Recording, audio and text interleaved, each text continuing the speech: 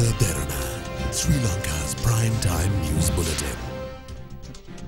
අයිබෝන් ජාත්‍යන්තර ප්‍රමිතියේ ශ්‍රී ලාංකීය ප්‍රවෘත්ති නාලිකාව අද දෙරන 24/7 ප්‍රධාන පුවත් ප්‍රකාශය රාත්‍රියට සමගයි ඔබ සජීවීව.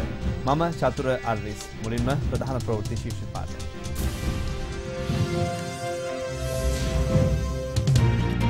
මරාගෙන මැරෙන ඇඳුම් කට්ටල ගැන අගමැතිගෙන් පාර්ලිමේන්තුවට ප්‍රකාශයක්. ජාතිකාරක්ෂාව ගැන මහින්දගේ ඉල්ලීම. කුමාර් ගුණරත්නම්ට වසරක සිරදඩුවක්. සැත්කමින් පසු රාජිත පළමුවර්ට මාධ්‍යට කතා කරයි. ඔළුවෙන් හිටගෙන පලාත්පාලන මැතිවරණය ඉල්ලයි.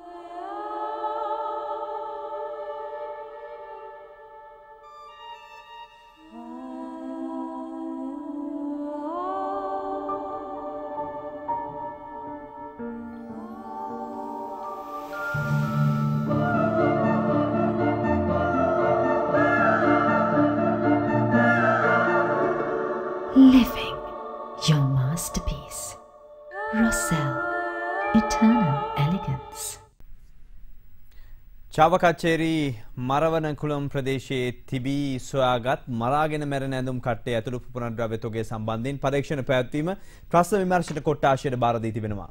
පොලිස් මාධ්‍ය ප්‍රකාශක සහකාර පොලිස් අධිකාරී රුවන් ගුණසේකර මහතා සඳහන් කළේ වැඩ බලන පොලිස්පති එස්.එම්. වික්‍රමසිංහ මහතා විසින් අදාළ සිද්ධිය සම්බන්ධ පරීක්ෂණ කටයුතු මෙලෙස ත්‍රස්ත විමර්ශන කොට්ටාශයට බාර දී ඇති බවයි. The big story.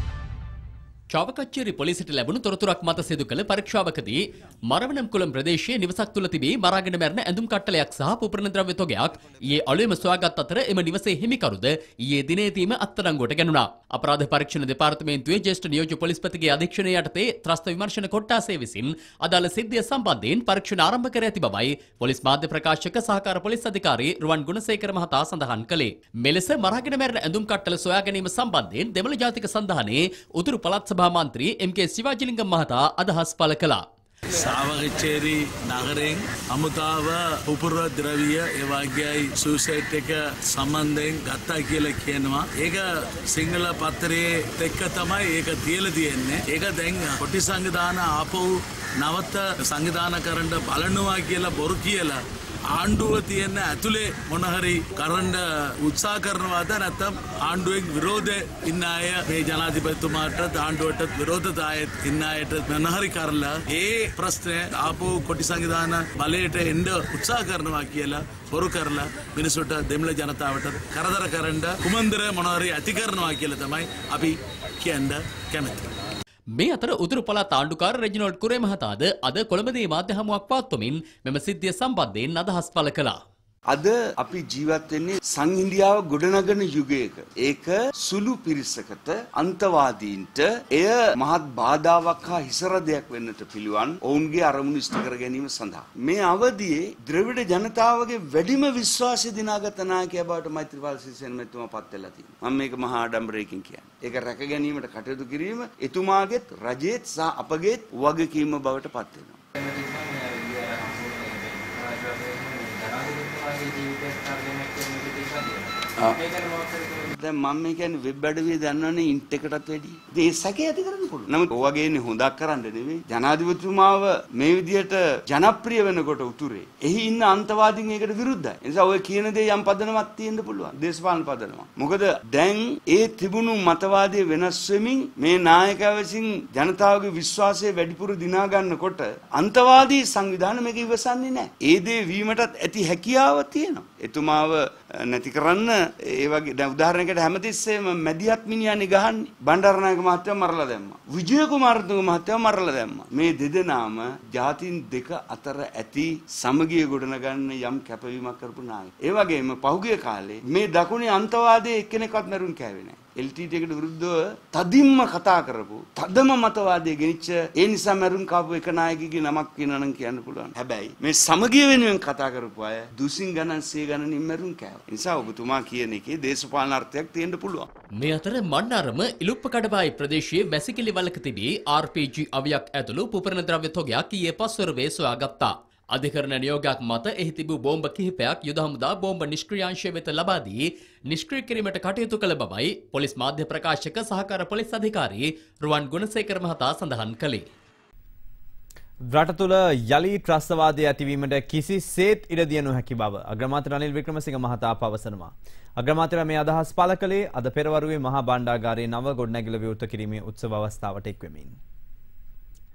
මහා භාණ්ඩාගාර නව ගොඩනැගිල්ල විවෘත කිරීම අද පෙරවරුවේ සිදු කෙරුණේ ජනාධිපති මෛත්‍රීපාල සිරිසේන මහතාගේ සහ අග්‍රාමාත්‍ය රනිල් වික්‍රමසිංහ මහතාගේ ප්‍රධානත්වයෙන්.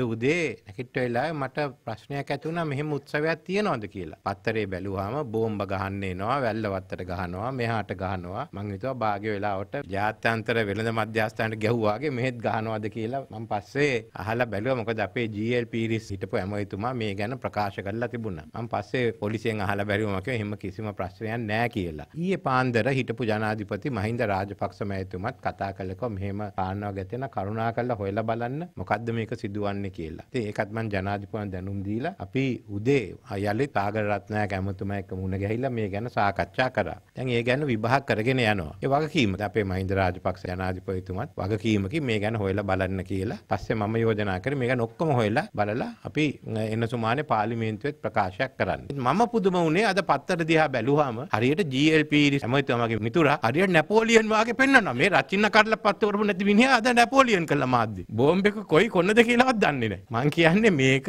වැල්ලවත්තට ගෙනාව කියලා එතුම දන්නවා නම් පොලිසියට කිව්වද? පොලිසියට කියන ඔබ ජාතික ආරක්ෂාවට කරපු ලොකුම ද්‍රෝහිකමනේ. වැල්ලවත්තට ගෙනාවද? කාගේ ගෙදෙට්ටද ගෙනාවේ? මොකද කියන්නේ? ඔක නොකිය කියන්නේ නෑ මේ කිව්වනම් කමන. කිව්වේ නැත්තම් නොකිය කියන්නේ මේ වැල්ලවත්ත ගෙන දෙමළ මිනිස්සුන් මුන්ට ගහන්න ඕනේ කියලා. ඕකනේ DLPDs කියන්නේ. ඕකනේ පත්තර වලත් දාන්නේ මාධ්‍යයක් දාන්නේ. ඔයකොට තැජ්ජ වෙන්න ඕනේ. ආපහු ඉඩ දෙන්න බෑ ත්‍ස්තවාදයක් ඇති කරන්න. ඒත් අනික් අතට වෙලා තියෙන්නේ විශාල ආර්ථික දියුණුවක් දැන් එන වෙලාවේ ඒවා කඩාකප්පල් කරන්නත් බලනවා. ඒක හිටපු LTT අය කරනවද? නැත්තම් මේකට විරුද්ධය කරනවද? නැත්නම් මේගොල්ලෝ දෙකට එකතු වෙලා කරනවද? ඒවත් කරපු කාලේ තිබුණනේ අපි දන්නේ නැහැ. ඒත් ආණ්ඩුවට කරුණා කරලා වෙලාව දෙන්න. මේ ගැන පොලිසිය සම්පූර්ණ වාර්තාවක් කරන්න. ත්‍ස්තවාදයක් එනවනම් සංවිධානය වෙනවනම් ඒක නවත්තන්න. අනිත් පැත්තට ජාතිවාදයක් ඇති කරන්න තිර දෙන්න බෑ. GLPD සැමතුමාට ඔබතුමා දන්නවනේ දැන් මැල්ලුවත් කොහට දාවේ කියලා. කොයි පාරට දාවේ කියලා. ඇලෙක්සැන්ඩ්‍රා පාරටද කොයි එකටද කියලා. ඉතින් කරුණා කරලා ඒ ආවේ තැන මොකද්ද? ගෙදර මොකද්ද? කිව්වොත් අපිට හරි හරි ලේසි මේක විශ්සගන්න. මම දැන් පොලිසියට තුකමත් තියෙන තුම මුණ ගහිලා ගිහින් අහන්න. කොයි ගෙදරටද ගෙනාව කියලා මොකද ඔබතුමාලානේ දැන් මේවා විවාහ කරගෙන යන්නේ.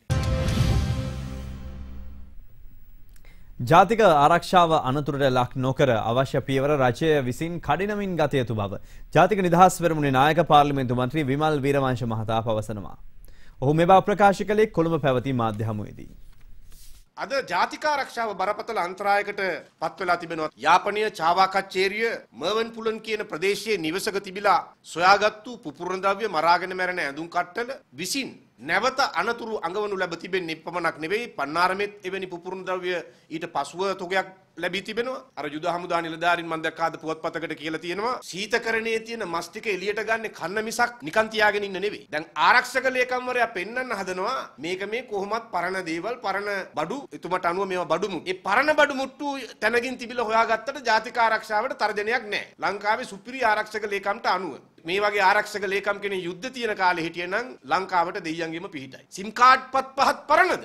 ආවරණය කළ තිබුණේ සිංහල පත්තරයක කඩදාසිය. ඒ පත්තරේ දිනේ කවද්ද? බොහොම සරලව හොයන්න පුළුවන්. අද LTT ත්‍රස්තවාදයට නැවත බෝම්බ පුපුරවන වාතාවරණයක් හදා දෙමින් තිබෙනවා අපේ රට අනාරක්ෂිත කරනු ලබමින් තිබෙනවා. ඒක ඊටාම භයානක තත්ත්වයක්. අපි ඊටා ඕනෑකමින් ආණ්ඩුවෙන් ඉල්ල මේ රටේ ජාතික ආරක්ෂාව තව තවත් අනතුරට ඇදවට්ටන්නේ නැතුව මේ තත්ත්වයේ බැරෑරුම් නිසා සැලකිල්ලටගෙන ගත යුතු පියවර ගන්න මේ අතර තොරතුරු දැනගැනීමේ පනත හා පසුගේදා රාජකරිය සිදු වූ අනතුර සම්බන්ධයෙන්ද ඔහු මෙහිදී අදහස් පළ කළා. විශේෂයෙන්ම මාධ්‍යවේදීන්ට ජාත්‍යන්තර ගිවිසුම් ගැන තොරතුරු දැනගන්න තියෙන අයිතිය නැති කරලා තියෙනවා. රාජ්‍ය ආරක්ෂාවට හෝ එහි භෞමික අඛණ්ඩතාවට හෝ ජාතික ආරක්ෂාවට බරපතල ලෙස අගතිදායක වන අවස්ථාවක මේ අගතිදායක වන අවස්ථාව කියලා ඕනනම් මේ ඔය ඇඳුම් කට්ටලේ හම්බ වෙච්ච ප්‍රවෘත්තියක් ගන්න පුළුවන්. ඒතකොට මේක දාන්න එපා කියලා තීරණය කරන්න. තොරතුරු දැනගැනීමේ පනත නෙවෙයි මේක තොරතුරු වසන් කර ගැනීමේ පනත. ආලාපාලු රණවකගේ චෝදනාවක් තියෙනවා ඔහුගේ වාහනේට තරුණයෙක් හැප්පුණා කියලා.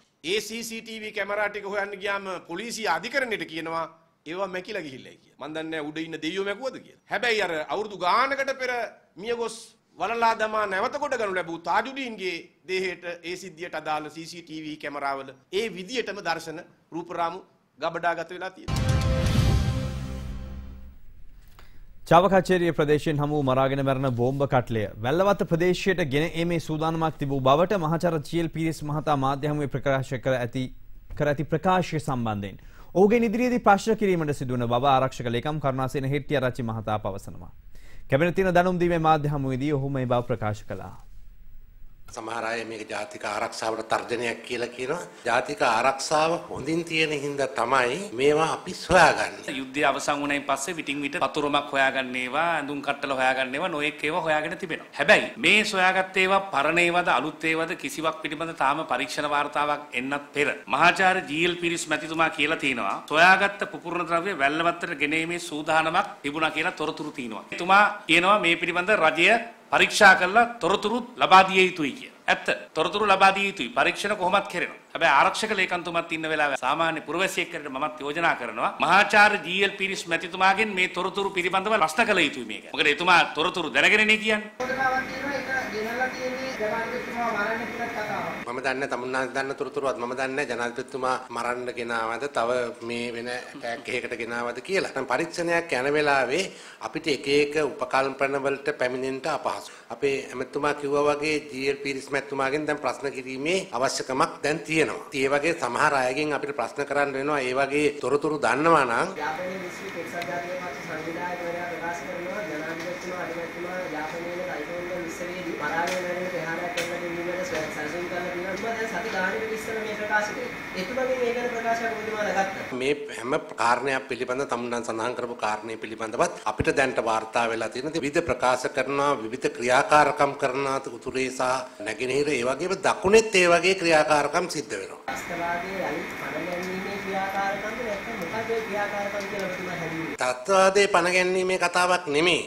ජාතික ආරක්ෂාව පිළිබඳ ප්‍රශ්නයක් මේ කතා කරන්නේ. ත්‍රස්තවාදයේ කියලා පණ ගැන්වීමේ සටන් පාඨය හොඟ දෙනෙක් ගෙනියනවා. මෙම හිසෝසෝනවා කියලා. හිස එසෙව්වත් අපි සූදානම් ඒකට.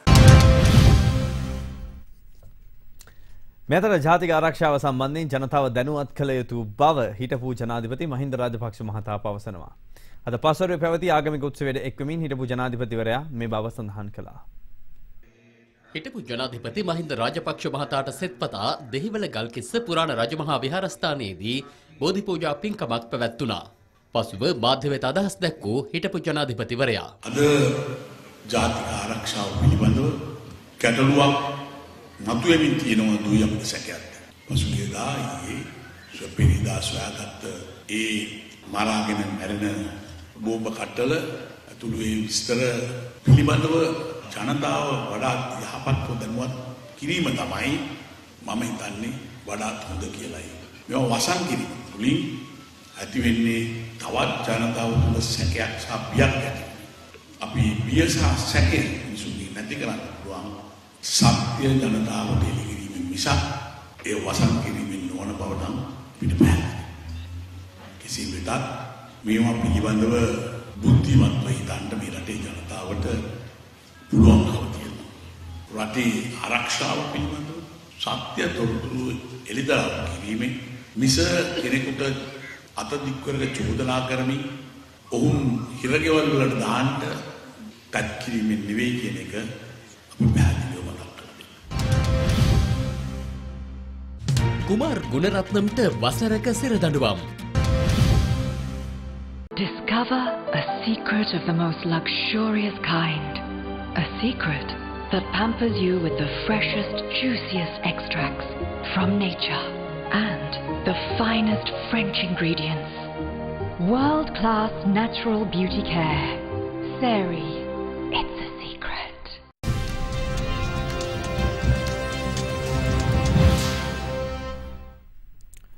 ආගමන විගමන නීතිය උල්ලංඝනය කරමින් මෙරට රැඳී සිටීමේ චෝදනාවට වරදකරු කරමින් කෑගල මහේස්ත්‍රාත් අධිකරණයේ පෙරටුගාමී සමාජවාදී පක්ෂයේ දේශපාලන මණ්ඩල සභික කුමාර් ගුණරත්නම් මහතාට වසරක සිරදඬුවමක් නියම කෙරුවා. අදන වාර්තාකරු සඳහන් කළේ එම සිරදඬුවමට අමතරව අධිකරණය විසින් කුමාර් ගුණරත්නම් මහතාට රුපියල් 50000ක දඩයක්ද නියම කළ බවයි. ආගමන විගමන නීති උල්ලංඝනය කරමින් මෙරට රැඳී සිටීමේ චෝදනා මත කුමාර් ගුණරත්න මහතා පසුගිය වසරේ නොවැම්බර් මාසයේදී කෑගල්ල අගුරුවැල්ල ප්‍රදේශයේදී අත්අඩංගුවට ගැනුණා.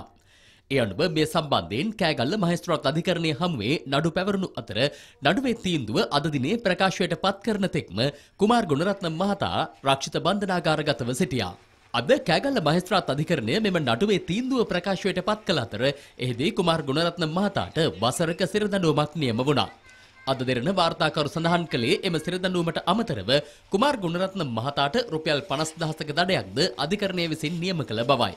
මේ අතර පෙරටුගාමී සමාජවාදී පක්ෂ අද පස්වරුවේ මාධ්‍ය හමුවක් ඇඳවා තිබුණා. දෙදස් පහල පෙබරවාරි මාස ශ්‍රේෂ්ඨාධිකරණයට අපි ඉදිරිපත් කළ මූලික අයිතිවාසිකම් පෙත්සම විභාග නොකර අතහරින්න එක ප්‍රධාන හේතුවක් තමයි විධායකයේ සතු බලයක් සඳහා අධිකරණයට අතපවන්න නොහැකි වීම. අද තීන්දුව ප්‍රකාශ කරමින් කෑගල්ල මහේස්ත්‍රාත්වරයත් කිව්වා නිශ්චිත නඩුවේ නඩුව සම්බන්ධ තීන්දුවක් දෙන්න පුළුවන්. නමුත් මෙතන ඊට එහා ගිය සංවේදී කරුණු තියෙනවා. ඔහුට පුරවැසිභාවය ලබා දීම සම්බන්ධ ප්‍රශ්නයට අධිකරණයට නෙවෙයි දේශපාලන බලාධිකාරය ඒ සම්බන්ධ තීන්දුවක් ගත යුතුයි. එහිදී ඔවුන් මේ සංවේදී කාරණා සලකා බැලිය යුතුයි. ඒ විතරක් නෙවෙයි මේ ආණ්ඩුව ප්‍රතිපත්තිමය වශයෙන් කිව්වේ පහුගිය කාලේ ප්‍රජාතන්ත්‍රවාදය පිළිබඳ ප්‍රශ්න නිසා ජීවිත ආරක්ෂාව සඳහා රටෙන් බැහැරව බැහැර වෙන්න සිද්ධ වෙච්ච හැමෝටම ආරාධනා කරනවා. ඒ ප්‍රශ්න මුකුත් නැතුව ලංකාවට එන්න කියලා. ආපු අයට මෙන්න මේ විදිහට තමයි ආණ්ඩුව නීතිය දඩමීමා කරගෙන දේශපාලන පරිගැනීම් ක්‍රියාව යොදවන්නේ. පළාත් පාලන මැතිවරණය කඩනමින් පවත්වන්නයි රජයට බල කරමින් දිවෙන පුරා පළාත් පාලන ආයතනවල හිටපු නියෝජිතයින් අද අත්සන් දසලක්ෂයක් ලබා ගැනීමේ වැඩසටහනක් ආරම්භ කරනු ලැබුවා. මෙම වැඩසටහන නම් කර තිබුණේ ගමේ බලය ගමට දෙන්න ගමින් ගමට ජන අරගලය යනුවෙන්.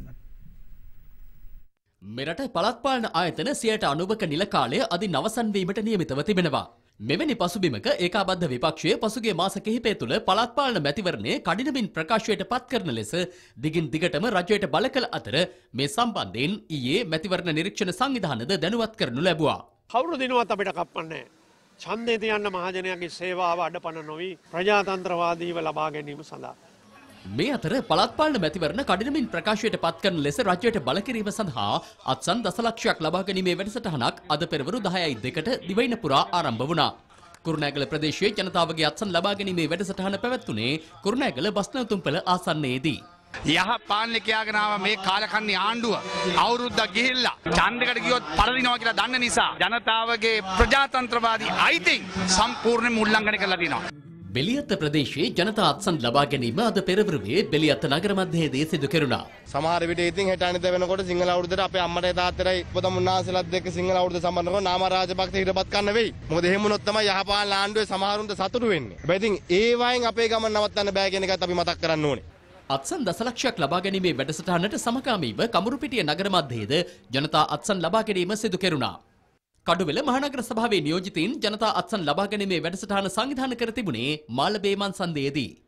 මහරගම නගර සභාවේ හිටපු මහජන නියෝජිතයින් මහරගම නගර සභාව ඉදිරිපිට ජනතා අත්සන් ලබා ගැනීමේ වැඩසටහන මෙලෙස සංවිධානය කර තිබුණා. මේ අතර පළාත් පාලන මැතිවරණය කඩිනමින් පවත්වන ලෙස රජයට බල කරමින් අබගමුව ප්‍රාදේශීය සභාවේ හිටපු එක්සත් ජනතා නිදහස් සංධාන මන්ත්‍රී හෙළප්‍රිය නන්දරාජ මහතා අද ප්‍රාදේශීය සභාව ඉදිරිපිට ඔළුවෙන් හිටගෙන විරෝධතාවක් සිදු කළා. ඔළුවෙන් හිටගෙන කියන්නේ මේ ආණ්ඩුව අනිත් පැත්තට යන නිසා මේ කරන විගඩම අතෑරලා වහාම පළාත් පාලන මැතිවරණය කියන්න කියන අභියෝගය අපි බල කරලා කියනවා. මේ අතර අද අත්තනගල්ල ප්‍රදේශයේ ජනතා අත්සන් ලබා ගැනීම සිදු කෙරුණු ස්ථානයට පස්වරු තුනට පමණ පැමිණි යතුරු පැදිකරුවෙකු එම ස්ථානයේ තිබූ අත්සන් ලේඛන තුනක් පැහැරගෙන ගිය බව අත්තනගල්ල ප්‍රාදේශීය සභාවේ හිටපු සභාපති ප්‍රියන්ත පුෂ්පකුමාර මහතා පවසනවා. පාර්ලිමේන්තුවට ඉදිරිපත් කර තිබෙන තොරතුරු දැනගැනීම අයිතිය පිළිබඳ පනත් කෙටුම්පතේ ඇතැම් වගන්ති ආණ්ඩුක්‍රම ව්‍යවස්ථාවට පටහැනි බවට ප්‍රකාශ කරන ලෙසිලා ශ්‍රේෂ්ඨාධිකරණයේ පෙත්සම් තුනක් ඉදිරිපත් කෙරුණා. ශ්‍රී ලංකා තොරතුරු තාක්ෂණ සංගමයේ ඇතුළු සංවිධාන කිහිපයක් විසින් අදාළ පෙත්සම් ඉදිරිපත් කර තිබෙනවා. පාර්ලිමේන්තුවට ඉදිරිපත් කර තිබෙන තොරතුරු දැනගැනීමේ අයිතිය පිළිබඳ පනත් කෙටුම්පතේ ඇතැම් වගන්ති ආණ්ඩුක්‍රම ව්‍යවස්ථාවට පටහැනි බවට ප්‍රකාශ කරන ලෙස ඉල්ලා ශ්‍රේෂ්ඨාධිකරණයට ඉදිරිපත් වූ පෙත්සම්වල වග උත්තරකරු ලෙස නීතිපතිවරයා නම් කර තිබෙනවා. අදාළ පනත් කෙටුම්පතේ රජය විසින් ජාත්‍යන්තරය සමග අත්සන් කරන වෙළඳ ගිවිසුම් පිළිබඳව තොරතුරු හෙළිදරව් නොකිරීමට ප්‍රතිපාදන සලසා ඇති බවයි පෙත්සම්කරුවන් සඳහන් කර ඇත්තේ. මේ හේතුවෙන් ජනතාවට තොරතුරු දැනගැනීමට ඇති අයිතිය උල්ලංඝනය වන බව පෙත්සම්කරුවන් පෙන්වා දී ඇති අතර අදාළ වගන්තිය සම්මත කිරීමට අවශ්‍ය නම් පාර්ලිමේන්තුවේ තුනෙන් දෙකක බහුතර ඡන්දයක් සහ ජනමත විචාරණයක් පැවැත්විය යුතු බවට නියෝගයක් පනවන ලෙසද පෙත්සම්කරුවන් ශ්‍රේෂ්ඨාධිකරණයෙන් ඉල්ලා තිබෙනවා. තමා සෞඛ්‍ය අමාත්‍ය දුරේ රැඳී සිටින කාලය තුළ සිංගප්පුරුවේ මවුන්ට් එලිසබත් රෝහල වැනි අංග සම්පූර්ණ රෝහල් තුනක් ලංකාවේ ඉදිකරන බව සෞඛ්‍ය පෝෂණ සහ දේශීය වෛද්‍ය අමාත්‍ය රාජිත් සේනාරත්න මහතා පවසනවා. අමාත්‍යර මේ අදහස් පළ කළේ අද පෙරවරුවේ බණ්ඩාරනායක අනුස්මරණ ජාත්‍යන්තර සම්මන්ත්‍රණ ශාලා පරිශ්‍රයේ පැවති වැඩසටහනකට එක්වෙමින් සත්කමින් අනතුරුව අමාත්‍යරයා පළමු වරට මාධ්‍යට අදහස් දැක්වුවේ දදයි. සෞඛ්‍ය අමාත්‍යංශය සිංගප්පූරු සෞඛ්‍ය ආයතනය සහ තමසෙක් පදනම එක්ව සංවිධාන කළ සෞඛ්‍ය ක්ෂේත්‍රයේ නායකත්වය සඳහා වූ පුහුණුකරුවන් පුහුණු කිරීමේ වැඩසටහන අද පැවැත්වුණේ සෞඛ්‍ය පෝෂණ හා දේශීය වෛද්‍ය අමාත්‍ය රාජිත සේනාරත්න මහතාගේ ප්‍රධානත්වයෙන්. මමත් පසුගිය කාලයේදී සිංගප්පූරුවේදී අත්දැකීම් ලැබුවා. මවුන්ට් එලිස්බර්ත් රෝහලේ කාර්ය මණ්ඩලය හරිම දක්ෂයි. මා බලන්න රෝහලට පැමිණි ජනතාවටත් හොඳට සැලකුවා. ඒ වගේම සිංගප්පූරුවේ මවුන්ට් එලිසබෙත් රෝහල වගේ අංග සම්පූර්ණ රෝහල් තුනක් ලංකාවේ ඉදි කරනවා. මේ අතර වැඩසටහනෙන් අනතුරුව මාධ්‍යවේදීන් නැගූ ප්‍රශ්නවලට අමාත්‍යවරයා පිළිතුරු ලබා දුන්නා.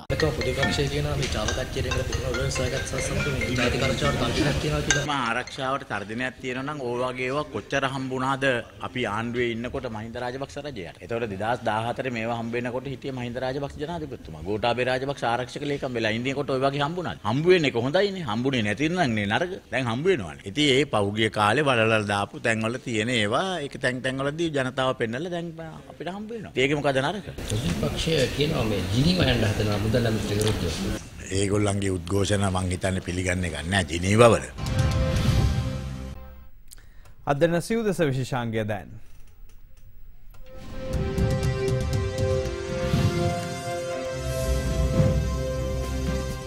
ඌව පළාත් සභාවේ ප්‍රධාන අමාත්‍ය චාමර සම්පත් දසනායක මහතා සිදු කර ඇතැයි පැවසෙන මූල්‍ය අක්‍රමිකතාවක් පිළිබඳව බෙදිමත් පරීක්ෂණයක් කරන ලෙස ඉල්ලමින් ජනතා විමුක්ති පෙරමුණ විසින් අද අල්ලස් කොමිසම වෙත පැමිණිල්ලක් ගොනු කළා. අපි මෙතන අද වග උත්තරකරුවන් හැටියට පත් කරා ප්‍රධාන අමාත්‍යවරයාත් ස්ථිර ප්‍රධාන ලේකම්වරයාත් වැඩ බලපු ප්‍රධාන ලේකම්වරයාත් අපි බලාපොරොත්තු වෙනවා අල්ලස් දූෂණ විමර්ශන කොමිෂන් සභාවෙන් මේ අවභාවිතා කරපු මුදල් වංචා කරපු මුදල් නැවත පළාතට අය කරලා දෙයි කියලා ඒ වගේ මේවට වග උත්තරකාරුවන් වෙච්ච අය ඔවුන් වැරදිකරුවන් බවට පත් වුණාට පස්සේ සාධාරණ නීතිය නීතිමය ක්‍රියාමාර්ග අරගෙන අදාළ දඬුවම් දෙයි කියන බලාපොරොත්තු සහිතව තමයි අද අපි පැමිණිල්ල ඉදිරිපත් කරනු ලැබුණේ. එයත් සමග හදන රාත්‍රී අට පුවත් ප්‍රකාශය නිමාවට පත්වෙනවා. තවත් තොරතුරු අපි ගෙනෙන්නේ රාත්‍රී 10ට.